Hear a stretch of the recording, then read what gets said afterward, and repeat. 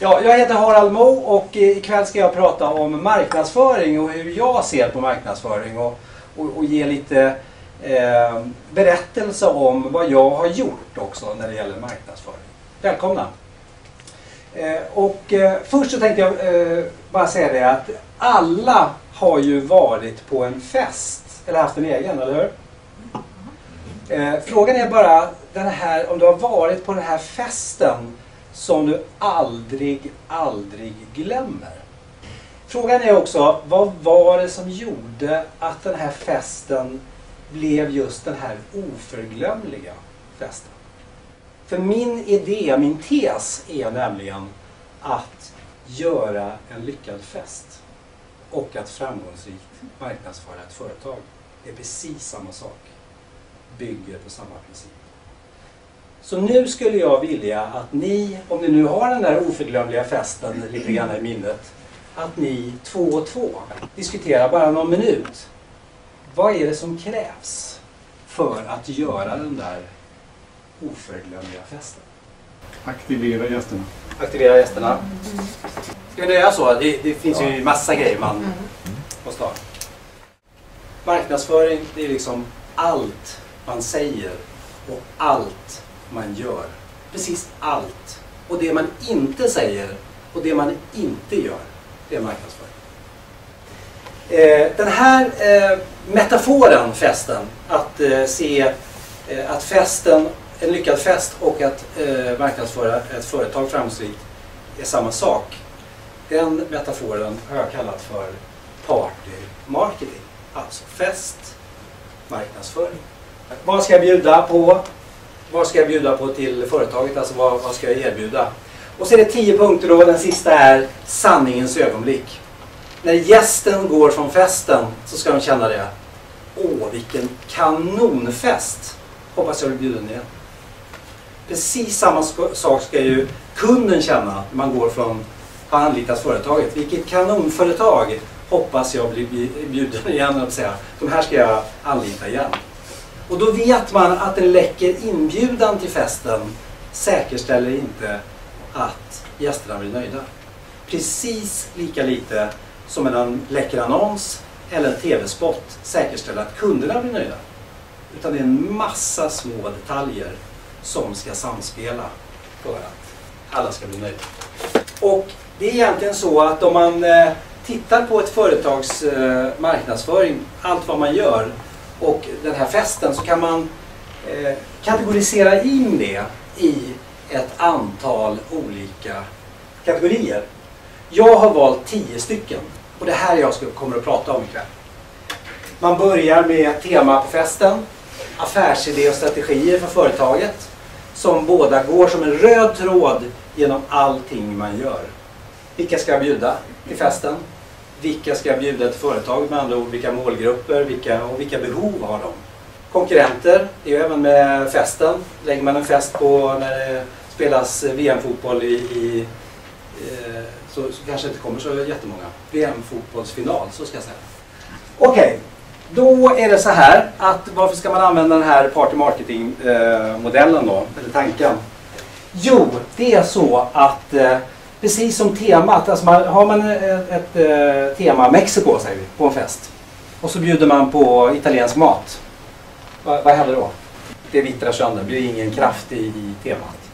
Precis samma sak är det i marknadsföringen. Att allting måste utgå ifrån det här affärsidén, strategier och fokusera det och koordinera alla eh, åtgärder som man gör och så att det förstärker varandra.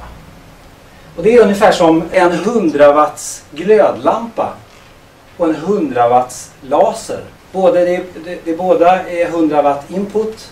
Glödlampan sprider sitt ljus åt alla håll medan då lasern samlar ihop och skickar iväg det åt samma håll, åt samma mål. Och det är tyvärr så att det är väldigt många glödlampsföretag som skickar ut eh, signaler i sin kommunikation åt många olika håll. Istället för att alla skickar iväg det åt samma håll.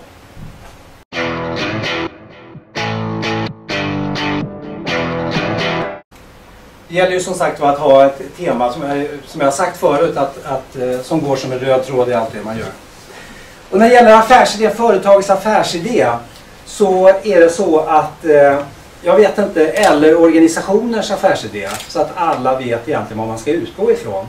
Det finns en undersökning som säger att i undersökta företag så var det 15 procent som kände till affärsidéer och strategier utav medarbetarna. Med andra ord 85 procent kände inte till det. Och då är det så här att ni ska nu två och två få diskutera vad det här får för konsekvenser. Får det några konsekvenser överhuvudtaget? Ja. Ja, eh, det är några dåligt engagemang, svårt att sälja in företaget. Eh, Man kan inte identifiera sig med företaget, man vet ju liksom inte ja, vad, vad, vad, vad- ska jag göra då? Eh, spretighet, mindre effektiv kommunikation. Där kan man se om, om man säger då, om ni håller med om att allt man säger och all- allt man gör och allt man inte säger och inte gör påverkar kunderna och i en eller annan utsträckning i marknadsföring. Då är ju det här rätt så eh, krisigt. Ofta är det så att man, den, den finns säkert någonstans. Eh, I någon perm eller på webbsidan eller vad det nu är för någonting. Men frågan är egentligen vilket läckage det blir eftersom man inte jobbar med det varje dag i sin, sitt dagliga arbete. Man inte riktigt kanske tänker på vad kan, ska jag bidra med för att uppfylla den här affärsidén? Är ni med eller ska jag prata bullshit? Nej, Men sen okej. har du har ju en annan del. Det, det finns ju i min organisation det finns de som kan affärsidén. De kan ju med veckan på natten. Ja. Men man får inte meningen. Nej, så det precis. finns ju också fler dimensioner. Ja, jätteviktigt det du säger. Ja. Och, och min affärsidé när det gäller det här, det är att hjälpa, och det är liksom det viktiga ordet, hjälpa privatpersoner och företag att bjuda på en oemotståndlig visuell och- smakmässig upplevelse av mat och dryck som skapar en positiv upplevelse för gäst, värd och värdinna. Så steg två i det här, vad är det här då? Steg två i den här eh, Vilka ska vi bjuda? vilka ska vi bjuda?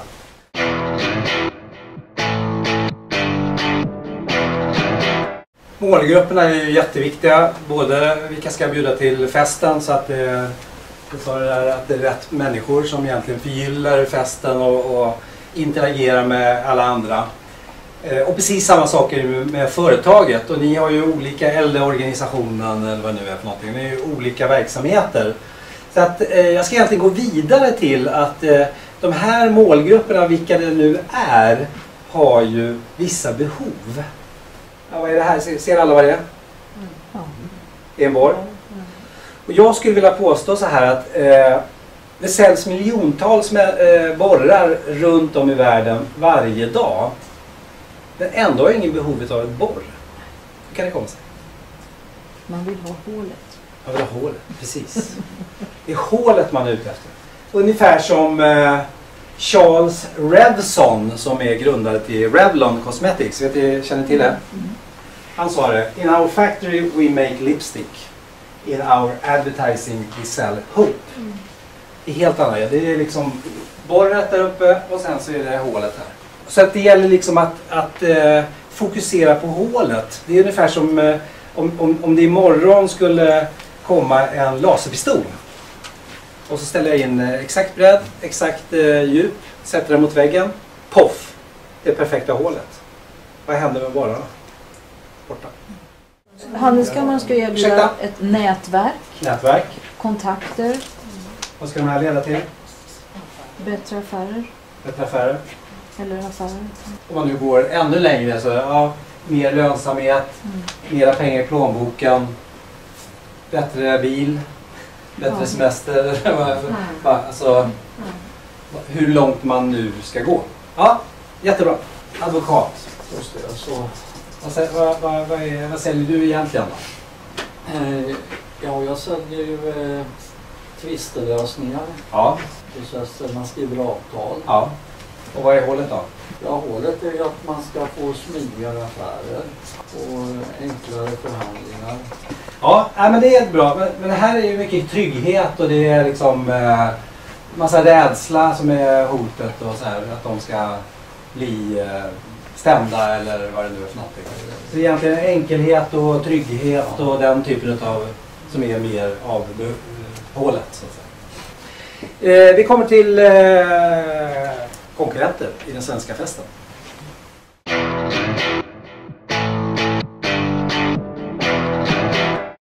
Eh, och sen så när det gäller då det här med konkurrens, när det gäller företaget så, så är det ju man tittar ju många gånger på vad har vi för konkurrenter som gör samma produkter som, som vi.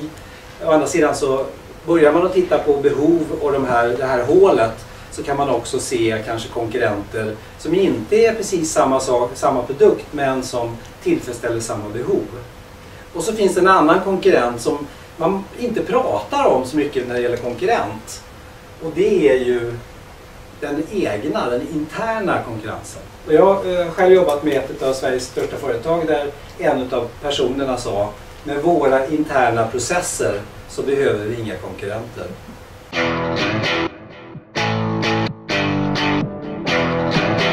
Eh, vad ska vi bjuda på? Vilket sortiment ska vi bjuda på? Så här? När det gäller då den här skeden så är det så att den här eh, skeden går ju då att eh, presentera i olika varianter. I, eh, eftersom det är, jag vet inte om ni tänkte på det, men det är faktiskt så att under skeden så är det ett antal spår som gör att den passar till de flesta vanliga glas. Så man kan ha champagne eller mousserande, vitt vin, rött vin, whisky, ja, you name it. Och det gäller liksom att eh, tänka på vad, vad är det vi ska erbjuda våra kunder som är unikt egentligen.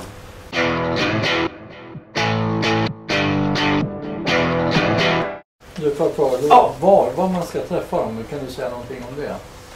Vilka kanaler? Det kan ju vara både att eh, i, I mitt fall så är det ju då olika typer av butiker. Det kan vara mässor, det kan vara samarbeten med andra aktörer. Olika typer utav var, var ska jag möta mina kunder? Det, det gäller ju mera att, att tänka lite bre- brett. Mm. Var, var kan man hitta samarbeten? Var kan man eh, träffa eh, potentiella kunder? Å andra sidan så vet man ju, måste man ju veta vilka är mina kunder och vilka behov är det som, som ska då tillfredsställas. Hur ska vi ta hand om era gäster?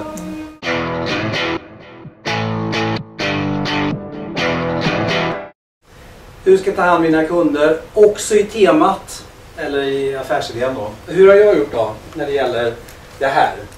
Jag ska ta först så här. Eh, en utav de största hoten mot det här att ta hand om sina kunder och vad, vad man nu ska göra.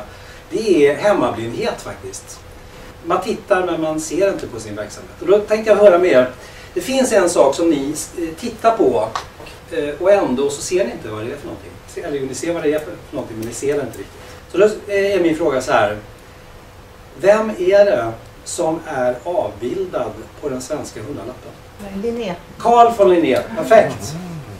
Det, det är så, vi, vi, eh, vi, vi tittar på den men vi ser den inte. Och det finns, eh, alltså om ni, när ni sen efter det här tittar på de här scenerna, det är enormt många små detaljer, det är konstverk.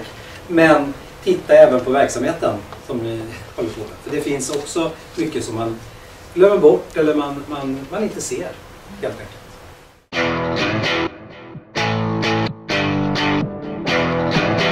Eh, en av de kritiska, om man tittar i marknadsföring, när allt man säger och allt man gör. Och, och här är det då personalen. Och, och vet man inte affärsidén, vad, vad, vad ska man göra då, höll jag på att säga. Naturligtvis så, så gör man ju någonting, men man kanske, det kanske inte blir den samlade kraften.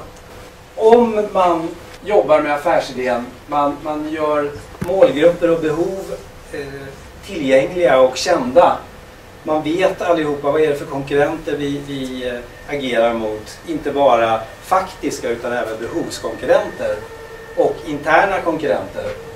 Att alla vet vad, vad, vad är det egentligen vi säljer och vad, vad är det för behov som det här, den här produkten eller tjänsten eller vad det nu är för någonting eh, tillfredsställer. Var ska vi eh, vara någonstans? Var ska vi möta våra kunder? hur ska vi ta hand om gästerna, kunderna, så att alla kan egentligen bidra till eh, sin del i affärsidéns och, och strategiernas linje. Och det här som egentligen resultatet, ett av resultaten börjar att bli. Så då är frågan så här liksom, känner personalen verkligen till företags affärsidéer och strategier? Hur kan jag bidra för att förstärka den totala kommunikationen?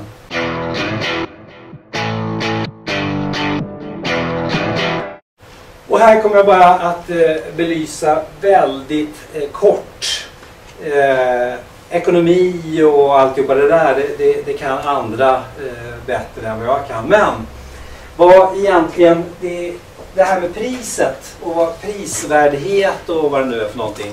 Så är det ju så att hela den här, de här tidigare punkterna är ju egentligen värde som ska stoppas ner i den här värdeskålen som skapar värde. Och som balanserar antingen att det är helt okej pris eller att det är dyrt eller att det är verkligen värde för pengarna.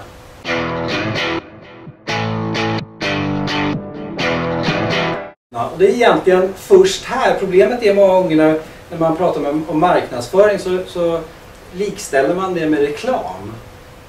Men det är ju först nu som reklamen kan börja att träda in. Eh, när jag drev reklambyrå så var det inte helt ovanligt där vi fick eh, ett uppdrag eller förfrågan om- ett uppdrag. Eh, kan ni göra en kampanj? Ja, vad, vad, vad är det för målgrupper? Vad ska den vad göra för jobb och, och så vidare. Och det måste man ju ha reda på innan man kan egentligen gå ut. För det är ju här man då vet vad man ska kommunicera. Och sen så kan man som reklambyrå bestämma hur man ska kommunicera.